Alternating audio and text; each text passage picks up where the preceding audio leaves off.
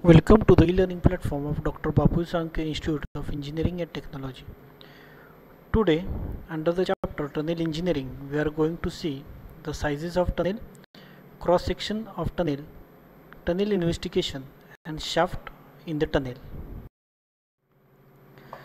In the earlier lecture, we have seen the various shapes of tunnel. Now, we are going to see the size of the tunnel. The size of the tunnel is nothing but the cross-sectional dimensions which are given to the tunnel. The factors which affects the size of tunnels are first one is volume and type of traffic. The total volume and type of traffic including size and speed of vehicle affects the size of tunnel. Size of tunnel म्हणजे का काय तर टनेलच्या आतमध्ये जे internal dimensions provide केलेले असतात की त्याची हाईट किती असायला पाहिजे? त्याची रुंदी किती असायला पाहिजे? त्याची लांबी किती असली पाहिजे? त्याला आपण साईज ऑफ टनेल्स असं म्हणतो. ही जी साईज असते ती कुठल्या कुठल्या फॅक्टरवर डिपेंड असते? तर त्यातला पहिला फॅक्टर आहे तो म्हणजे volume and type of traffic म्हणजे जर आपण ट्राफिक टनेलचं कन्स्ट्रक्शन करणार असेल तर त्यामध्ये तिथून पास होणारा ट्रॅफिकचं व्हॉल्यूम किती आहे? म्हणजे दिवसाला त्यातून किती व्हेकल्स पास होतात. त्याशिवाय जे पास होणारे व्हेकल्स असतात त्यांचा स्पीड किती असतो? याच्यावरून त्या टनेलची साईज काय केली जाते? फायनल केली जाते. Second one is thickness of lining the thickness of lining varies with the material of tunnel the thickness of tunnel should be provided between the range of twenty centimetre up to sixty centimetre जर तुम्ही टनेलमधून travel केला असाल तर तुम्हाला पाहायला मिळेल की बाजूने असं कॉन्क्रीटचं लायनिंग केलेलं असतं बघा. ठीक आहे? That is called the lining of tunnel हे काय केलं जातं तर कॉन्क्रीट जसं आपला स्लॅब असतो तशा पद्धतीने त्याला त्या शेपमध्ये लायनिंग प्रोव्हाइड केलेलं असतं कॉन्क्रीटचं तर त्याचं थिकनेस किती असावा याच्यावरून सुद्धा त्या टनेलचा साईज फायनल केला जातो. नॉर्मली तो जो थिकनेस असतो त्या लायनिंगचा तो वीस सेंटीमीटरपासून सिक्स्टी सेंटीमीटर इतका असतो. आणि तो थिकनेस कशावरती डिपेंड असतो तर तो थिकनेस हा कुठल्या टाईपचा स्ट्राटा आहे? कुठल्या टाईपचं ते मटेरियल आहे टनेलच्या आतमध्ये? त्याच्यावरती डिपेंड असतो. कारण की टनेलचं जे काही इंटरनल प्रेशर आहे ते सगळे या थिकनेसवरती येणार हे सगळं ते त्या लाईनिंगवरतीच येणार आहे त्यामुळे जर त्याच्यावरती येणारे स्ट्रेसेस जास्त असेल तर तो जो लायनिंगचा थिकनेस असतो तो थिकनेससुद्धा जास्त असतो. Third one is the drainage facilities required The type of drainage system to be provided to drain out the rainwater affects the size of tunnel. जे जसं टनेलमधून पास होण्यासाठी रोड कन्स्ट्रक्शन केलं जातं त्याच पद्धतीनं त्याच्या दोन्ही बाजूला कधी कधी त्या रोडच्या सेंटरला आपल्याला गटर्स प्रोव्हाइड केलेले दिसतात. कधी कधी दोन्ही बाजूला ड्रेनेज सिस्टीम प्रोव्हाइड केलेल्या असतात. तर ह्या ज्या फॅसिलिटीज असतात ड्रेनेज फॅसिलिटीज त्यामध्ये त्यामुळे सुद्धा काय होतं की त्या टनेलचं डायमेन्शन चेंज होतात. ऑटोमॅटिकली साईज ऑफ टनेल्ससुद्धा व्हेरी होते. तर while selecting the size of tunnels the following points are also considered म्हणजे ज्यावेळी आपण टनेल्सचे इंटरनल डायमेन्शन्स फायनल करणार असेल की ज्याची हाईट किती असायला पाहिजे विड्थ किती असायला पाहिजे लेंथ किती असायला पाहिजे त्यावेळी हे पॉईंटसुद्धा कन्सिडर केले जातात. त्यातला पहिला पॉईंट जो आहे तो म्हणजे space for labours to free to move freely म्हणजे बऱ्याच वेळेला आतमध्ये इलेक्ट्रिफिकेशन प्रोव्हाइड केलेलं असतं व्हेंटिलेशन सिस्टीम प्रोव्हाइड केले असते. त्याच्या मेंटेनन्ससाठी लेबर्स लागतात. तर ते लेबर्स हे फ्रीली मूव्ह झाले पाहिजेत. तर तेवढी स्पेस काय केली जाते? त्यामध्ये प्रोव्हाइड केली जाते. Second is the sufficient space to be provided for ventilation pipes signal wire and water pipes etcetera म्हणजे फक्त ट्रॅफिकसाठीच लागणारी स्पेस सोडून त्याशिवाय व्हेंटिलेशनसाठी ज्या पाईप्स असतात त्यासाठी सुद्धा थोडीफार स्पेस प्रोव्हाइड करणं गरजेचं असतं. सिग्नल वायर्स असतात इलेक्ट्रिफिकेशन्स असतात वॉटर पाईप्स प्रोव्हाइड केलेले असतात. त्यासाठी सुद्धा आपल्याला सफिशियंट स्पेस प्रोव्हाइड करणं गरजेचं असतं. त्यामुळं ते सुद्धा कन्सिडर करणं हे गरजेचं असतं before designing of the tunnel third one is the it is essential to have some clear space around the vehicles when the doors are open to prevent accident म्हणजे ज्यावेळी याचे डायमेन्शन्स फायनल केले जातात टनेलचे त्यावेळी साधारणतः एखादी व्हेकल समजा टनेलच्या आतमध्ये स्टॉप झाली बंद पडली ते डोर्स ओपन असतील तर त्या कंडिशनला सुद्धा त्याच्या साईडने दुसरं व्हेकल इझिली मूव्ह झालं पाहिजे इझिली पास झालं पाहिजे. तर या गोष्टी कन्सिडर करून त्या टनेलची साईज आणि त्याचे डायमेन्शन्स फायनल केले जातात. Now we are going to see the cross section of tunnels for national highway तर नॅशनल हायवेचा हा क्रॉस सेक्शन आहे. इथे तुम्हाला पाहायला मिळेल की यामध्ये टू लेन्स आहेत की ॲट ए टाईम बऱ्याच वेहिकल यातून पास केल्या जातात. म्हणजे एकतर आतमध्ये एंट्रीसुद्धा करू शकतात त्याशिवाय दुसऱ्या बाजून ते एक्झिटसुद्धा करू शकतात. त्याची तर फॅन्स प्रोव्हाइड केलेले असतात. एक यांना एक्झॉस्ट फॅन्स असं म्हणतात. तर हा क्रॉस सेक्शन आहे नॅशनल हायवेचा नॅशनल हायवे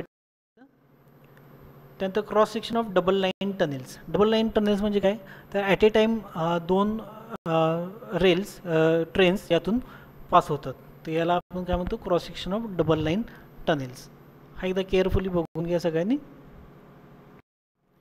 त्यानंतर cross section of tunnels for railway line track for single line track ठीक आहे? म्हणजे ॲट ए टाईम जर एक एकच ट्रेन यातून पास होणार असेल तर तिथे अशा पद्धतीचं टनेलचं कन्स्ट्रक्शन केलं जातं. आता next part is the tunnel investigation tunnel investigation is the most important part before constructing the tunnel the tunnel investigation म्हणजे काय the field and laboratory investigation of the area to obtain necessary information of sub surface and general data for safe and economical design and layout of tunnel are known as tunnel investigation जे ज्यावेळी एखाद्या हिली एरियामध्ये आपल्याला tunnel the construction करण्याचं ठरलेलं आहे. ती जागा पण फायनल झालेली आहे. लँड अलॉट झालेलं आहे. तर before starting the construction of tunnel आपल्याला तिथे थोडंफार सर्वे करणं गरजेचं असतं. तो तो जो सर्वे आहे त्याला आपण काय म्हणतो तर टनेल इन्व्हेस्टिगेशन टनेल इन्व्हेस्टिगेशनमधून आपल्याला काय कळतं? तर त्याच्या आसपास जो काय जिओलॉजिकल डेटा आहे ते आपल्याला कळतं. त्या टनेलची अलाइनमेंट कशी ठेवायला पाहिजे हे आपल्याला कळतं. त्याशिवाय त्या टनेलचं कुठला शेप आणि किती त्या टनेलची साईज काय असायला पाहिजे ह्याची थोडीफार आयडिया आपल्याला या टनेल इन्व्हेस्टिगेशनमधून मिळते. तर ह्या टनेल इन्व्हेस्टिगेशन हे तीन स्टेप्समध्ये केलं जातं. की ज्यामध्ये सगळ्यात पहिलं जिओलॉजिकल इन्व्हेस्टिगेशन केलं जातं. त्यानंतर second is a tunnel alignment म्हणजे त्या टनेलची अलाइनमेंट काय असायला पाहिजे याचा अभ्यास केला जातो. आणि शेवटी त्या टनेलला कुठला शेप हा प्रेफर केला गेला पाहिजे आणि त्याचे सायझेस काय असल्या पाहिजेत हे सुद्धा या टनेल इन्व्हेस्टिगेशनमध्ये स्टडी केलं. तर त्यातलं पहिलं आहे ते म्हणजे जिओलॉजिकल इन्व्हेस्टिगेशन जिओलॉजिकल इन्व्हेस्टिगेशन म्हणजे काय? The field and laboratory investigation of the area so as to know nature and type of soil through which the tunnel is to be constructed are known as geological investigation तर geological investigation ह्या महत्त्वाचा part असतो. Tunnel construction start करण्यापूर्वी त्याचं design start करण्यापूर्वी. कारण आपला tunnel ज्या एरियातून पास होणार आहे ज्या जागेतून पास होणार आहे तिथे कुठल्या टाईपचं मटेरियल आहे? तिथला स्टाटा कुठला आहे? हार्ड स्टाटा आहे की सॉफ्ट स्टाटा आहे? तिथली सॉईल कशी आहे? त्या सॉईलची बेरिंग कपॅसिटी कशी आहे? तिथं वॉटर प्रेझेन्स आहे का? हे आपल्याला त्याचं स्टडी करणं गरजेचं असतं. ठीक आहे? तर त्यासाठी जो सर्वे केला जातो त्याला आपण सॉईल इन्व्हेस्टिगेशन असं म्हणतो. ती कसं केलं जातं? तर त्या ठिकाणीचा जो काय मॅप स्टडी आहे त्याचा अभ्यास केला जातो. त्याशिवाय इलेक्ट्रॉनिक इन्स्ट्रुमेंट्स वेगळे वेगळ्या पद्धतीचे वापरले जातात. त्याशिवाय कोर ड्रिलिंग मेथड वापरली जाते. कोर ड्रिलिंग म्हणजे काय? तर बोर्स मारले जातात. त्यानंतर त्यातून जे सॉईल सॅम्पल आहे ते बाहेर काढलं जातं. त्याचं लॅबोरेटरीमध्ये टेस्टिंग केलं जातं. लॅबोरेटरीमध्ये टेस्टिंग केल्यानंतर आपल्याला त्या सॉईलच्या प्रॉपर्टी सगळ्या कळतात. तर याला आपण जिओलॉजिकल इन्व्हेस्टिगेशन असं म्हणतो. म्हणजे एखाद्या टनेलचं कन्स्ट्रक्शन करण्यापूर्वी त्याचं डिझाईन करण्यापूर्वी त्याचं जिओलॉजिकल इन्व्हेस्टिगेशन के तर ऑब्जेक्टिव्ज ऑफ जिओलॉजिकल इन्व्हेस्टिगेशन तर ऑब्जेक्टिव्ह काय काय आहेत? तर first one is to know the nature and type of strata through which the tunnel is to be driven म्हणजे तिथे कुठल्या टाईपची सॉईल आहे तिथला स्ट्राटा कुठला आहे त्याचं नेचर काय आहे हे माहिती करण्यासाठी जिओलॉजिकल इन्व्हेस्टिगेशन केलं जातं. त्याशिवाय टनेलिंगची मेथड कुठली यूज करायची हे फायनल करण्यासाठी सुद्धा जिओलॉजिकल इन्व्हेस्टिगेशन केलं जातं. आणि to locate the underground presence of water faults to know the problem which are likely coming during tunnelling हे टनेलचं कन्स्ट्रक्शन करताना त्याच्या अलाइनमेंटच्या आसपास कुठं वॉटरचं प्रेझेन्स आहे का हे सुद्धा चेक करणं गरजेचं असतं. मग त्याचीसुद्धा स्टडी या जिओलॉजिकल इन्व्हेस्टिगेशनमधून केला जातो. जिओलॉजिकल इन्व्हेस्टिगेशन झाल्यानंतर next part is a tunnel alignment and its consideration म्हणजे यामध्ये काय केलं जातं की टनेलची अलाइनमेंट ही फायनल केली जाते. म्हणजे टनेल हा स्ट्रेट टनेल असणार आहे की थोडा कर्व टनेल अस टनेल असणार आहे हे यामध्ये फायनल केलं जातं. तर टनेल अलाइनमेंट म्हणजे काय? The position occupied by the central line of the tunnel in a plan is called as alignment जी या टनेलची जी सेंट्रल लाईन असेल त्याला आपण अलाइनमेंट असं म्हणतो. The following points should be considered while selecting the tunnel alignment हे tunnel tunnel alignment ही final करण्यापूर्वी हे पॉईंट्स कन्सिडर करणं गरजेचं असतं. ते कुठले कुठले पॉईंट्स आहेत? तर first one is the tunnel alignment should be pass through the hard rock only की टनेल अलाइनमेंट जी काय आहे हे टनेल जो काय पास होणार आहे त्याचं कन्स्ट्रक्शन जे काय होणार आहे ते मॅक्सिमम हार्ड रॉकमधनंच झालं पाहिजे. की जेणेकरून तिथली रिस्क कमी होईल आणि त्याशिवाय जे काम आहे ते फास्ट होईल. Second one is there should not be any presence of water near the alignment जे आपण अलाइनमेंट फायनल करणार आहे की ज्या अलाइनमेंटवरून त्या टनेलचं कन्स्ट्रक्शन केलं जाणार आहे तर त्या अलाइनमेंटच्या आसपास कुठे वॉटर प्रेझेन्स असला नाही पाहिजे. म्हणजे खडकामध्ये बऱ्याच वेळेला वॉटर प्रेझेन्स असतो. तुम्ही बघितलं असाल डोंगराळ भागात झऱ्याचं पाणी वगैरे येत असतं. तर तसं शक्यतो नसलं पाहिजे. ते का नसलं पाहिजे? कारण की इन फ्युचर तिथं वॉटर सिपेज होण्याची किंवा वॉटर लिकेज होण्याची शक्यता असते. Third one is the alignment should be mark such way that the excavation work should be minimum excavation work म्हणजे काय? तर टनेलचं ज्यावेळी आपण काम सुरू करतो त्यावेळी मोठ्या प्रमाणात एक्सकॅवेशन केलं जातं. त्यातून जे काही मटेरियल आहे ते अगदी कमीत कमी बाहेर पडलं पाहिजे. अदरवाईज काय होतं की त्याचा ट्रान्सपोर्टेशनचा खर्च वाढतो आहे त्याशिवाय आपल्याला त्यासाठी एक्स्ट्रा लेबरची गरज लागते एक्स्ट्रा मशिनरीची खरं गरज लागते. त्यामुळे the excavation work should be minimum म्हणजे शक्यतो हे अलाइनमेंट फायनल करताना ती जी शॉर्टेस्ट अलाइनमेंट असेल जो शॉर्टेस्ट रूट आहे तोच फायनल केला जातो की जेणेकरून the tunnelling work becomes economical the last one is the tunnels openings should be near to the dumping yard dumping yard म्हणजे काय? तर ज्यावेळी टनेलिंगचं काम सुरू असतं. त्यावेळी त्यातलं जे काही एक्सकॅवेटेड मटेरियल आहे जी जी माती पडते दगडं असतात तर त्याला काय केलं जातं की त्याला गोळा केलं जातं आणि त्यानंतर कुठल्या तरी एका पॉईंटला तिथे ते डम्प केलं जातं. तिथे ते टाकलं जातं. तर त्याला डम्पिंग यार्ड असं म्हणतात. तर त्या डम्पिंग यार्डच्या आसपासच काय केलं जातं? या टनेलचं ओपनिंग शक्यतो असायला पाहिजे की जेणेकरून तो जो ट्रान्सपोर्टेशनचा डिस्टन्स आहे ते ट्रान्सपोर्टेशनचा डिस्टन्स कमी असेल. आणि अलाइनमेंट फायनल केल्यानंतर त्या टनेलसाठी एका प्रॉपर शेपचं आणि त्यासाठी लागणाऱ्या स्लोपचं काय केलं जातं? फायनलायझेशन केलं जातं. After geological investigation finalising the tunnel alignment the shape and size of the tunnel is decided म्हणजे त्याचं साईज अँड शेप हा फायनल केला जातो. The next part is tunnel surveying ज्यावेळी टनेल इन्व्हेस्टिगेशन होतं त्यानंतर नेक्स्ट पार्ट जो असतो त्याला आपण टनेल सर्विंग असं म्हणतो. म्हणजे आता आपण ॲक्च्युअल काय करणार आहे की टनेलिंगचं काम कुठून सुरू करायचं याचा अभ्यास आपण टनेलिंग टनेल सर्विंगमध्ये केला जातो. तर त्यामध्ये काय the process of setting out the tunnel and transferring the same to inside the tunnel through shaft is called as a tunnel surveying the tunnel survey work includes the following operations.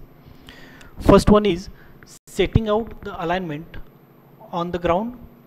Second one is constructing the shaft over the center line that is called alignment and third one is transferring the alignment to inside of the tunnel. हे सगळ्यात पहिला सर्वे केला जातो त्याची alignment ही त्या हिली एरियावरती mark केली जाते त्याला आपण setting out the alignment on the ground असं म्हणतो. त्यानंतर त्या अलाइनमेंट जी काही मार्क केलेली असते ती मार्क केलेल्या अलाइनमेंटवरती शाफ्टचं कन्स्ट्रक्शन केलं जातं. आता शाफ्ट म्हणजे काय असते हे आपण पुढं पाहूया.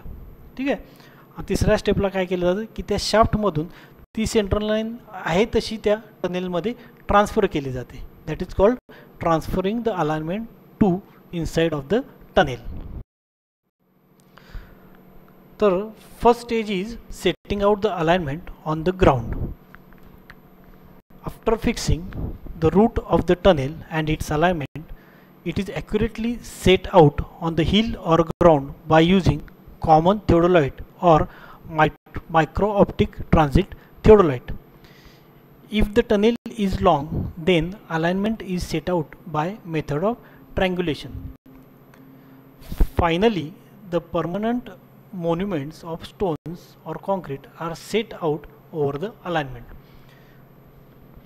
तर या इमेजमध्ये तुम्हाला जो काही दिसतो that is the side view of the tunnel म्हणजे जी डॉटेड लाईन आहे तिथून आपल्याला ॲक्च्युअल काय करायचं आहे त्या टनेलचं कन्स्ट्रक्शन करायचं आहे.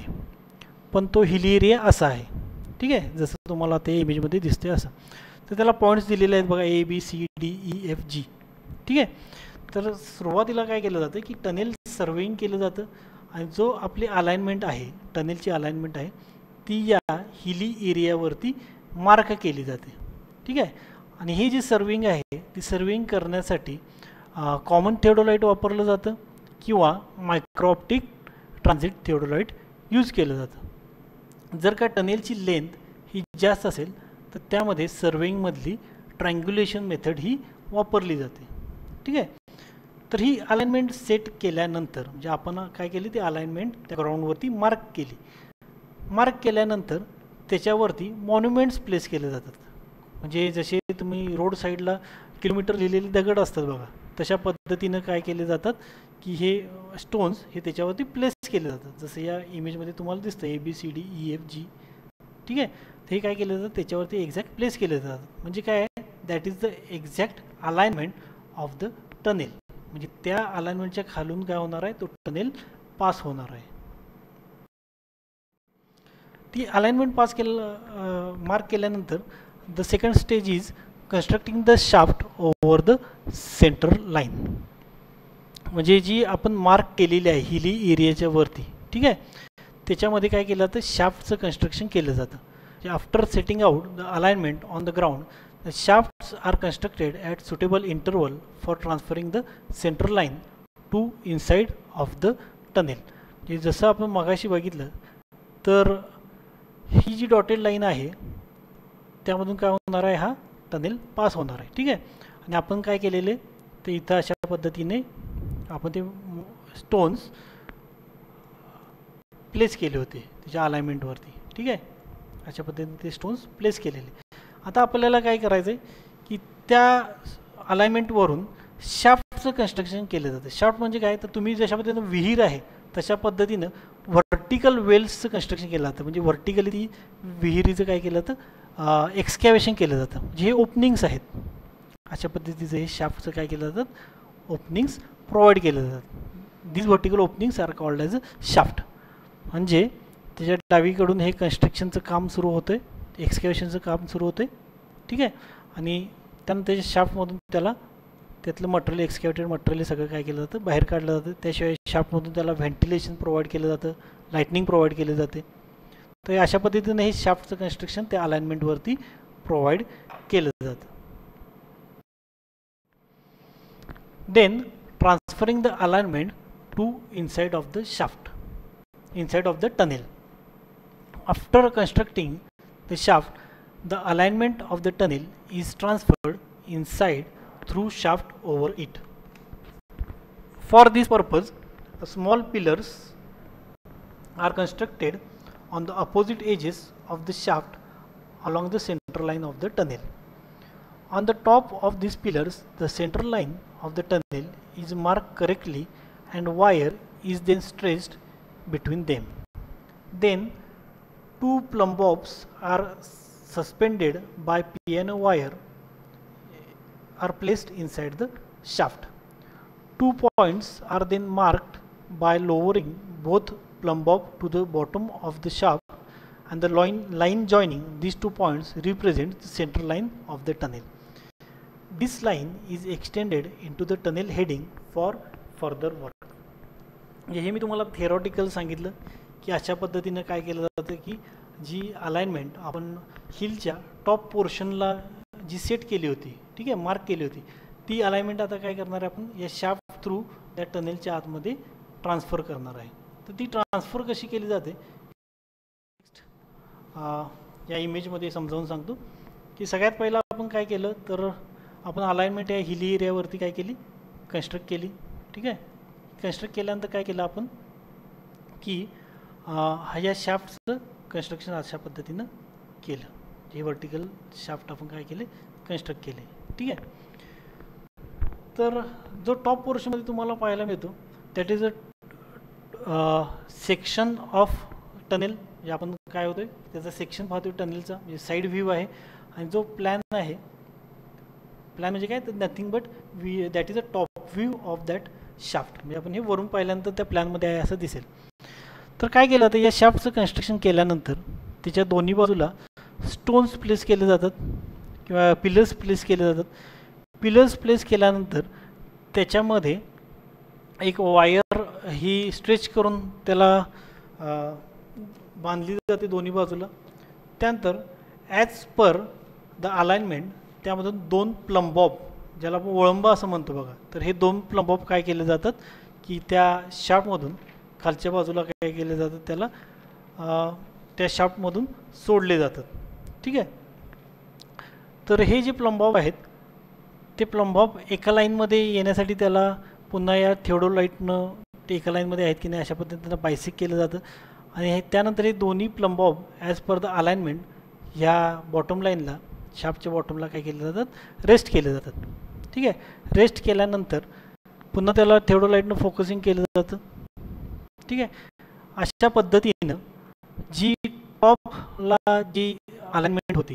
पनेलची अलाइनमेंट जी आपण फायनल केलेली ती by using this piano wire ती काय केली जाते?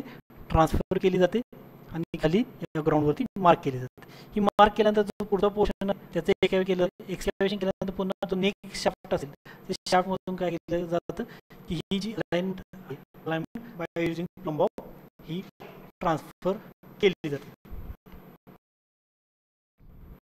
आता shaft shaft and its purpose तसं म्हणजे बघितलं vertical wells or passages constructed along the alignment of the tunnel are known as the shaft म्हणजे जसं आपण बघितलं टनेल सर्वेंगमध्ये की सगळ्यात पहिला आपण टनेलची जी काय अलाइनमेंट आहे ती या ग्राउंडवरती मार्क केली त्यानंतर शाफ्टचं कन्स्ट्रक्शन केलं आणि ती जी अलाइनमेंट होती ती या शाफ्टमधून आपण खाली ट्रान्सफर केली. ठीक आहे? तर तो शाफ्टचा मेन पर्पज आहे. आणि हे जी व्हर्टिकल पॅसेजेस असतात व्हर्टिकल वेल्स असतात त्यांना आपण शाफ्ट असं म्हणतो. तर या इमेजमध्ये जो फोटो आहे त्यामध्ये तुम्हाला पाहायला मिळेल की this is called as a shaft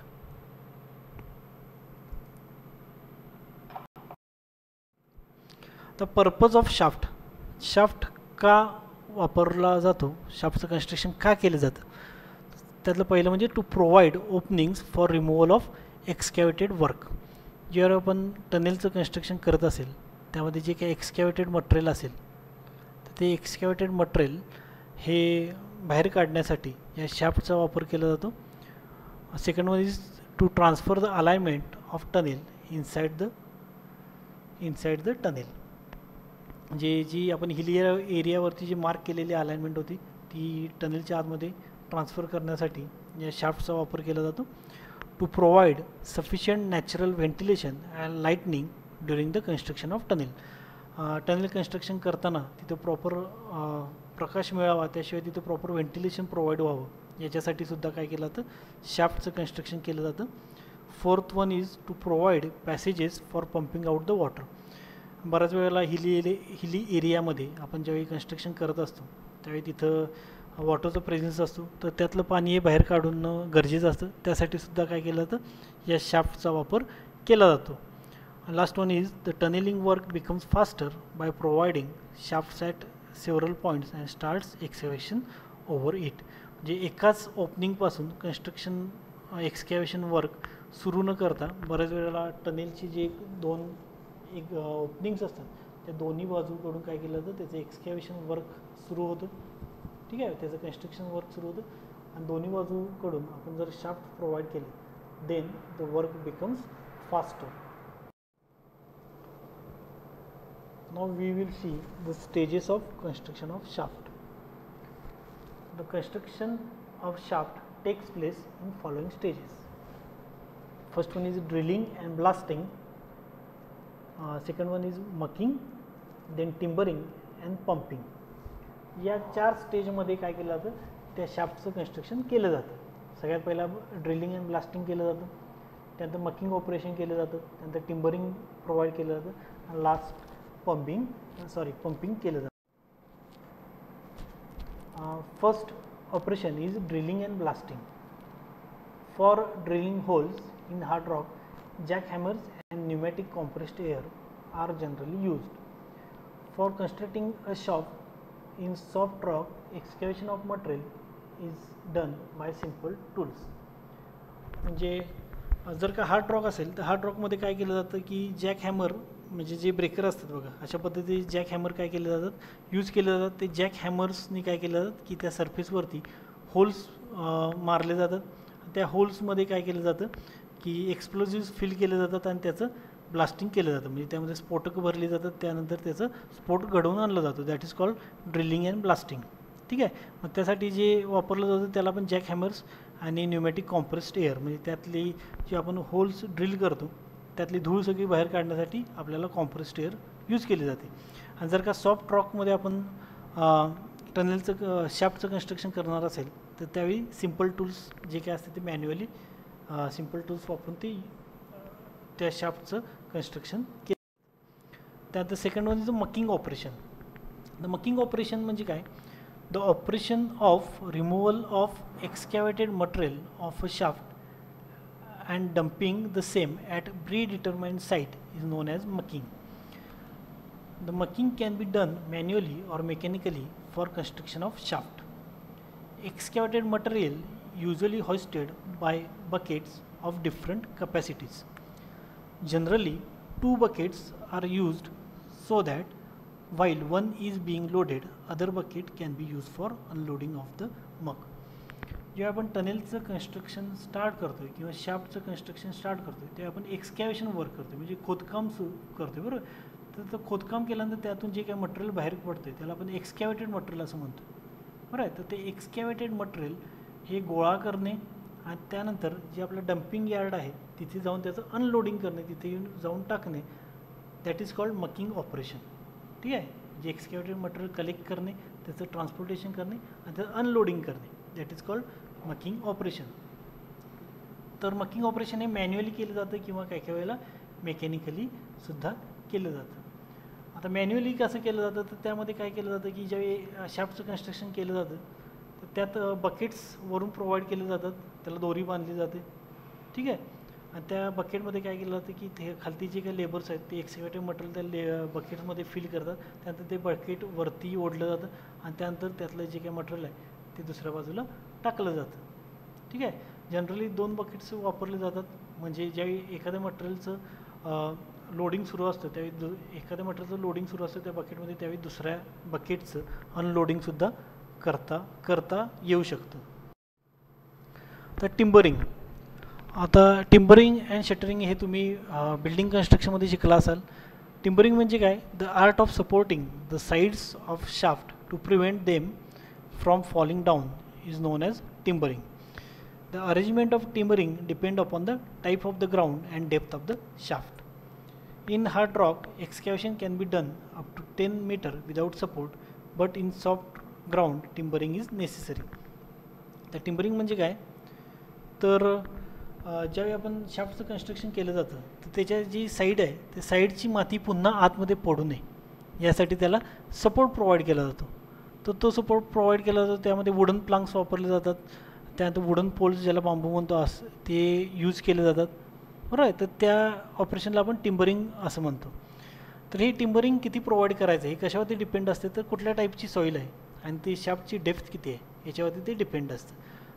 जर का एकदम लूज सॉईल असेल तर आपल्याला मॅक्सिमम अमाऊंटमध्ये हा टिंबरिंग सपोर्ट प्रोव्हाइड करणं गरजेचं असतं.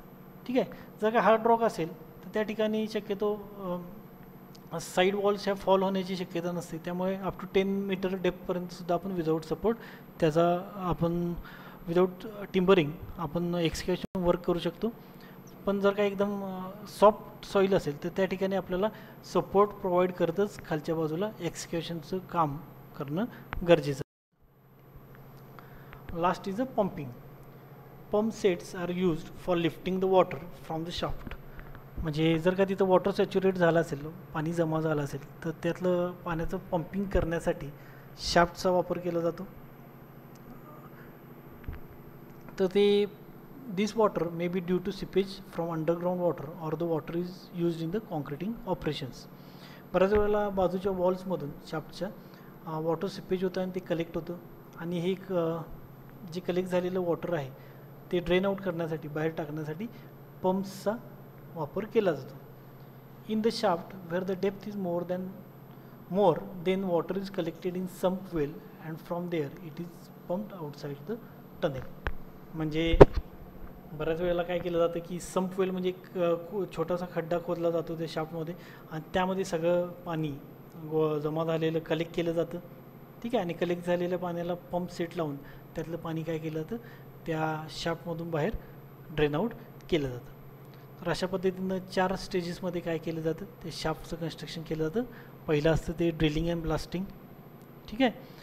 त्यानंतर मकिंग ऑपरेशन केलं जातं. म्हणजे ते ड्रिलिंग ब्लास्टिंगनंतर त्यातलं जे एक्सकॅवेटेड मटेरियल आहे ते रिमूव्ह केलं जातं. त्याला मकिंग ऑपरेशन असं म्हणतात. तिसरं म्हणजे टिंबरिंग म्हणजे ज्यावेळी कन्स्ट्रक्शन एक्सकॅवेशन वर्क सुरू असते त्याच्या ज्या साईड वॉल्स आहेत त्याला सपोर्ट दिला जातो. त्याला आपण टिंबरिंग असं म्हणतो.